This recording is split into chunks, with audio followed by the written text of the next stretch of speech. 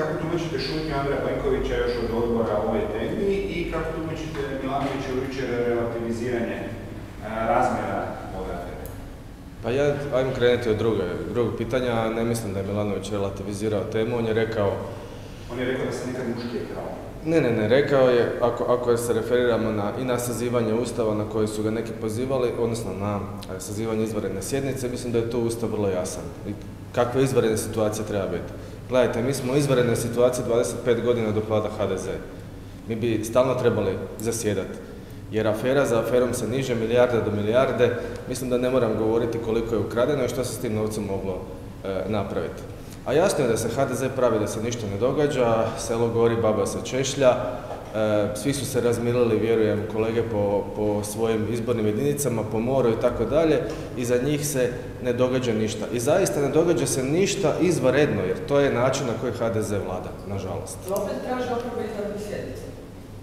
E, ja se slažem da, da izvanrednu sjednicu trebamo tražiti, ali možda sa drugačijim dnevnim redom, sa smjenom Filipovića i ili Plenkovića. To je jedino što mi trebamo tražiti po meni i po nama, jer tu leži politička odgovornost. I sve drugo je u ovom trenutku nevažno. A oni će se, vjerujem, dalje praviti da se ništa ne događa, jer kažem, ne događa se ništa novo, tako HDZ vlada. Možemo se kratko vratiti na ovo e, Milanovićevo pozicioniranje. Kako vi doživljate ulogu Pavla Vujnovca u ovoj priči? kako ga ja doživljavam. Uh, ja nemam neko sad mišljenje da, da ga dijelim s vama u smislu je li netko tu dobar, loš, da je netko nekome pogodovao, to apsolutno stoji. Zašto, kako, o tome se da, o tome se da razgovarati. Ali o tome bi trebali razgovarati, o tome bi tijela trebala koja, koja vode brigu o tome, um, voditi brigu o tome. Da ne kažem, one institucije trebaju raditi svoj posao.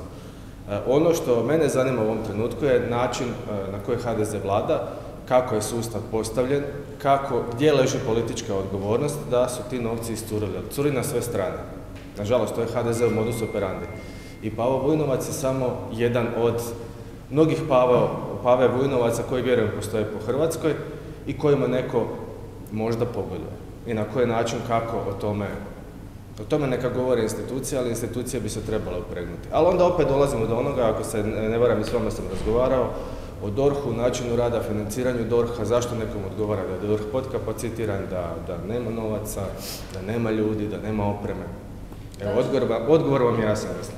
Danas ćete uputiti formalni zahtjev predsjedniku Republike, prepostavljam što od njega očekujete onda. Ali- se činilo da nije spreman za Evo sad sam vam ja rekao, mi- ja se slažem sa predsjednikom, odnosno mi se slažemo sa predsjednikom u njegovu tumačenju Ustava.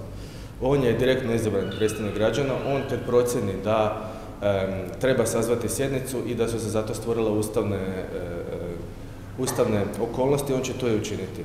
E, pritisak na predsjednika, politički ili bilo kakav drugi u ovom smislu, mislim da je samo kontraproduktivan za ono što želimo postići.